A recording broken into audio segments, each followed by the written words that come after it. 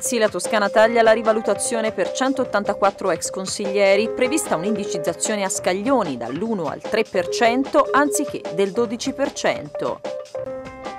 Premio Una vita per la montagna Memorial Gaetano Coppi, alla Betone la cerimonia di consegna del riconoscimento, omaggio speciale alla memoria di Zeno Colò.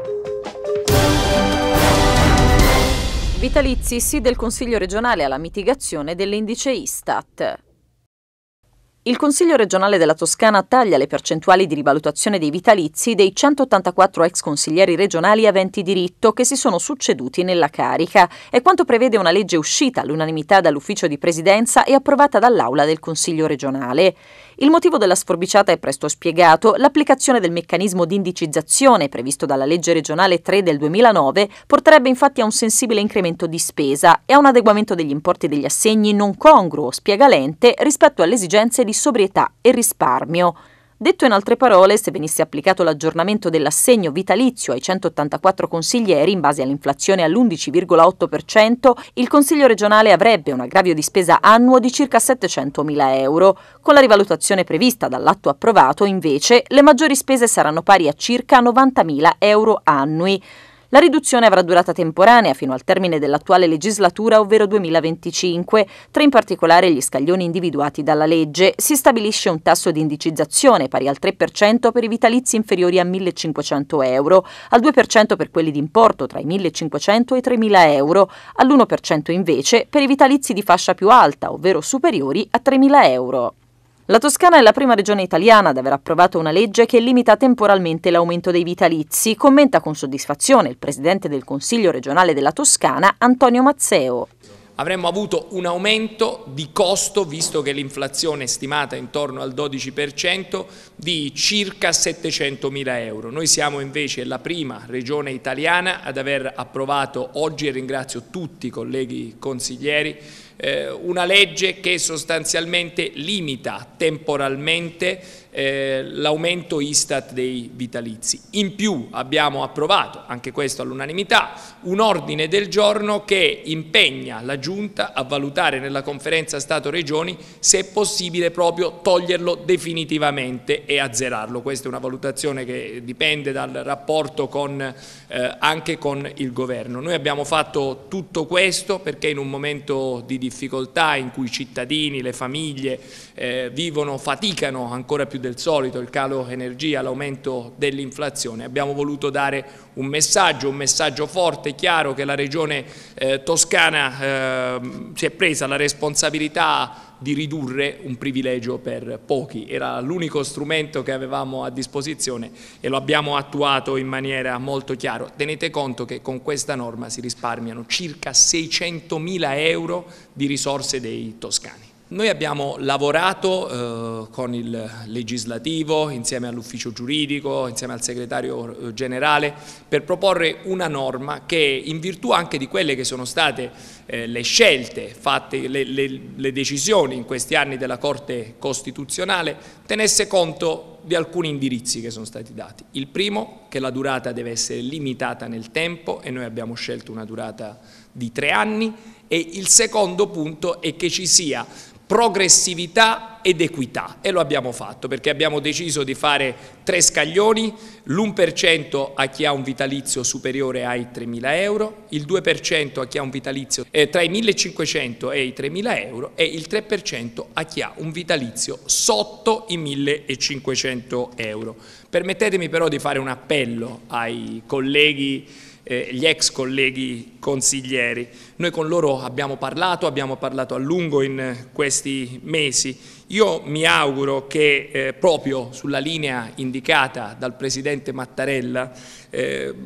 ci sia la possibilità che loro facciano un gesto eh, forte e che decidano da soli di non richiedere neanche quell'adeguamento che noi eh, abbiamo dovuto fare proprio per fare una legge che fosse secondo noi almeno, eh, non eh, impugnabile. Insomma, questo è un appello che chiedo a loro a nome di tutti i colleghi consiglieri. Il vitalizio sia un privilegio sempre, sia un privilegio ancora più sconveniente in un momento difficile quale il contesto attuale dove ci sono tante ragazze, tanti ragazzi che non troveranno mai lavoro, ce ne sono tantissimi che lavorano magari di sabato, di domenica dopo cena per qualche centinaio di euro il mese, troviamo sconveniente il privilegio del vitalizio, lo troviamo una cosa disarmante chiedere l'aggiornamento secondo i dati Istat. Vengano aggiornati all'indice Istat le pensioni pensioni, gli stipendi, non è giusto che vengano aggiornati anche i privilegi, quindi sono contento che il Consiglio regionale della Toscana oggi intervenga per ridurre un privilegio che è il vitalizio e per evitare che quel privilegio venga aumentato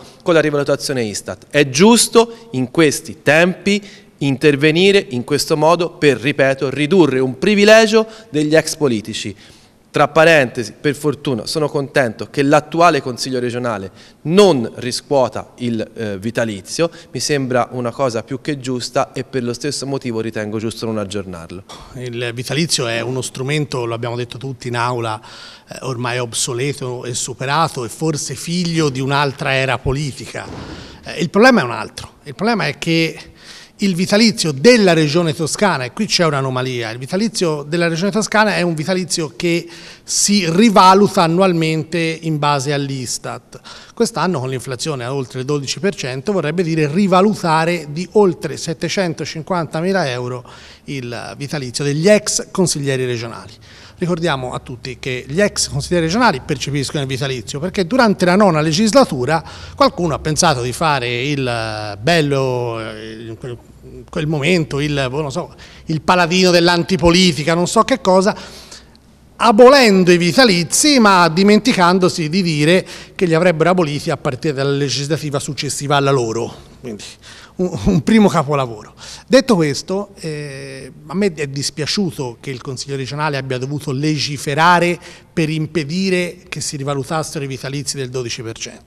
Mi è dispiaciuto perché stiamo parlando di vitalizi che prendono degli ex amministratori, degli ex consiglieri, cioè persone che in vita loro hanno amministrato e governato la nostra regione, che sanno cosa significa governare in momenti drammatici per il paese come questo, anche se forse in vita loro hanno governato in momenti più floridi, ma, ma sanno cos'è cos un operaio che protesta sotto la regione perché perde il lavoro, uno studente che protesta, una ditta che chiude, una RSA che si lamenta, lo sanno benissimo. E allora avrebbero dovuto fare una cosa cosa semplicissima, seguire l'esempio del Presidente della Repubblica, della massima carica dello Stato italiano, che ha rinunciato all'adeguamento della propria pensione e del proprio vitalizio e fare lo stesso. Avrebbero dovuto rinunciare loro, invece anziché rinunciare hanno inviato una lettera dove si paragonavano ai pensionati italiani chiedendo un adeguamento perlomeno pari a quello che il governo nazionale aveva previsto per le pensioni minime in Italia. Penso ci sia grande differenza, grandissima differenza tra un pensionato che percepisce la pensione minima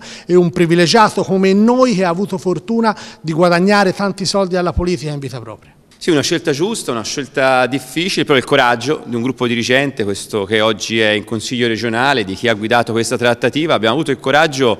di andare a ridurre l'importo dei vitalizi alle persone che prima di noi hanno amministrato la Toscana, fosse stato per me avremmo potuto anche eliminare, ma sicuramente andremo in questa direzione perché c'è un impegno congiunto delle forze politiche che va verso il superamento della rivalutazione Istat, intanto il coraggio di togliere 600 mila euro che saranno destinati invece ai cittadini toscani, al mondo delle associazioni, alla cultura, ai giovani, a tanti progetti che possiamo fare. È assurdo pensare che nel mondo di oggi persone che vivono di un potessero ancora pensare che questo privilegio potesse essere anche rivalutato. Abbiamo fatto il massimo, siamo l'unica regione in Italia che ha avuto questo coraggio di farlo, credo che si possa andare oltre rispetto al superamento dello stesso strumento, ma intanto oggi una buona, una bella pagina toscana dove tutti i gruppi politici, indipendentemente dall'appartenenza, hanno condiviso l'idea di chiudere una stagione, quella dei privilegi del passato, quanto noi come amministratori non abbiamo questo privilegio, è corretto che sia, questo ci consente di andare a testa testa alta dai nostri cittadini, sia questa legislatura che quella precedente, male avevano fatto in passato invece a pensare di mantenerselo per sé, pensare di rivalutarselo e poi a quelli dopo togliere. Hanno fatto bene a toglierlo a noi, ma noi facciamo bene ad eliminare il livello della rivalutazione. Assolutamente sì, è un privilegio eh,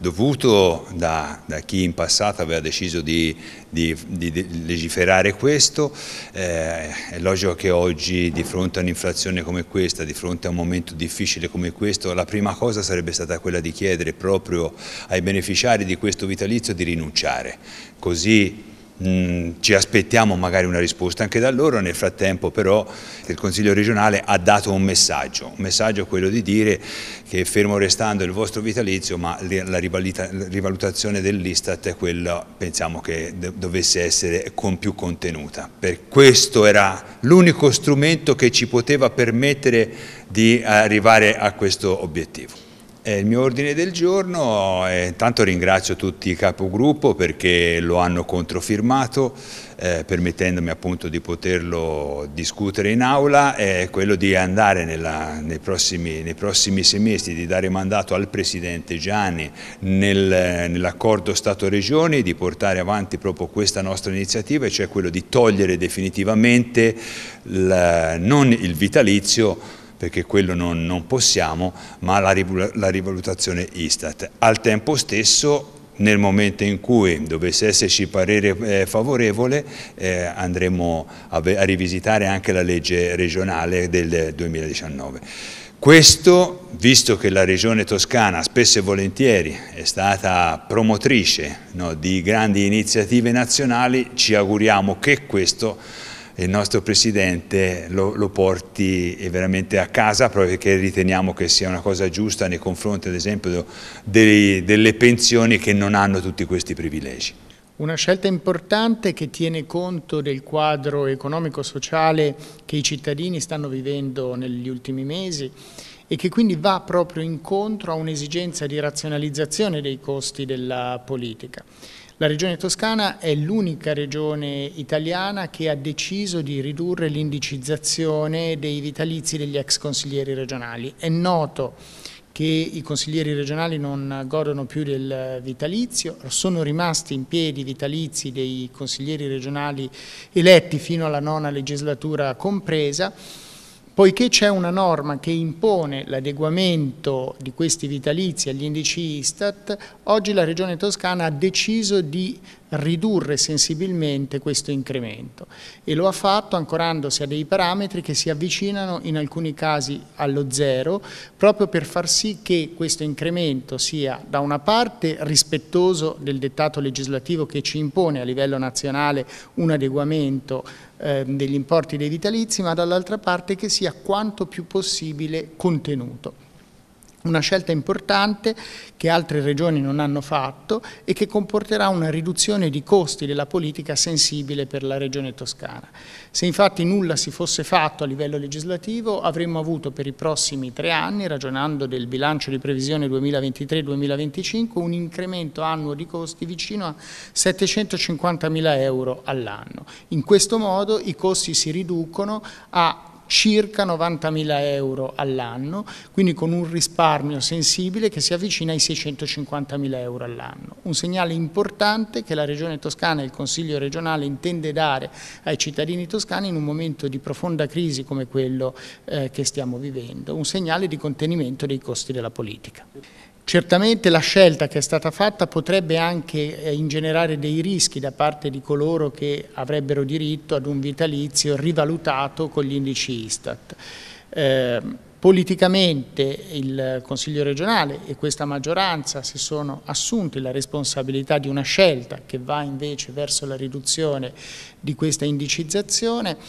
Devo dire che da un punto di vista giuridico-normativo abbiamo avuto in sede soprattutto di lavori di commissione il conforto da parte di tutti gli uffici che l'operazione che è stata posta in essere è perfettamente legittima e non ha quindi profili di contrasto con la normativa nazionale. Forti di questi speriamo di non avere conseguenze negative e chiaramente il mio vuole essere anche un appello a tutti coloro che godono di questi vitalizi a non calcare la mano su questo tema perché credo che i cittadini toscani in questo momento non capirebbero un atteggiamento di tipo diverso. Alla Betone le celebrazioni per Una vita per la montagna.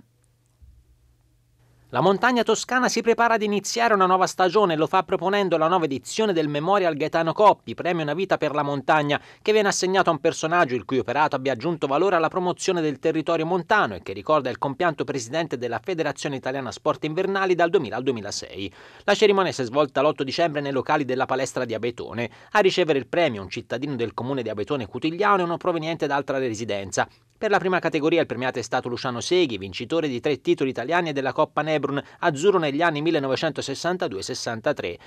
mentre per la seconda Lino Zani, maestro di sci, alpinista, per anni consulente del Ministero per gli Affari Regionali in materia di montagna. Un terzo premio è stato consegnato alla memoria di Zeno Colò in occasione del settantesimo anniversario della medaglia d'oro alle Olimpiadi di Oslo, ricorrenza che è stata celebrata anche con l'apposizione di una targa al Museo dello Sci di Abetone, nato per valorizzare le risorse ambientali, artistiche e culturali della montagna pistoiese. Il Consiglio regionale ha voluto nel settantesimo anniversario della vittoria olimpica di Zeno Colò, unico italiano a aver vinto la medaglia d'oro in discesa libera, eh, al 70 anni di distanza ha voluto inserire Zeno Colò tra i personaggi storici della regione toscana, quindi eh, in questa eh, serata dove verrà assegnato l'annuale premio Una vita per la montagna Memorial Gaetano Coppi scopriremo anche una targa che il Consiglio regionale dona a Zeno Colò e che verrà apposta dentro il Museo dello Sci di Abetone. Il premio Una vita per la montagna Memorial Gaetano Coppi è parte delle manifestazioni del calendario dell'anno di Abetone Cutigliano Città Toscana dello Sport 2022 sotto l'egida del Consiglio regionale della Toscana. Credo che Abetone possa assolutamente avere il nome e avere la possibilità di fare un premio come una vita per la montagna, perché? Perché Abetone è la montagna, è la montagna in Italia, è la montagna anche nel mondo, perché ha, ha fatto sì che nascessero tantissimi campioni nella, nella, nostra località, pertanto credo che meglio di un abbinamento meglio di questo non ci potrebbe essere. Oltretutto oggi andiamo a premiare anche un simbolo, un simbolo perché ha unito quello che è stata l'attività sportiva con quella che è stata l'attività imprenditoriale ed è un simbolo anche perché il premio, il memorial Gaetano Coppi che oggi viene assegnato a Luciano Seghi è ancora di più significativo. Luciano è stato grande amico, grande compagno nelle gare agonistiche ma anche grande compagno nell'attività imprenditoriale perché insieme a Gaetano Coppi ha aperto la seggiovia del Pulicchio e per molti anni ne è stato appunto sempre assieme a Gaetano il principale motivatore il principale esponente. Per cui veramente oggi credo che Abetone premi un personaggio che ha assolutamente rilevanza e poi insieme a lui Lino Zani, Lino Zani è stato il maestro di sci di Papa Voitiva, è oggi uno delle, delle, dei volti della montagna avendo, conducendo il, il, programma Linea Bianca e poi è stato direttore della Fondazione della Montagna. È, è montagna anche lui, per cui miglior giornata per premiare due personaggi di questo tipo oggi ad Abetone non poteva esserci.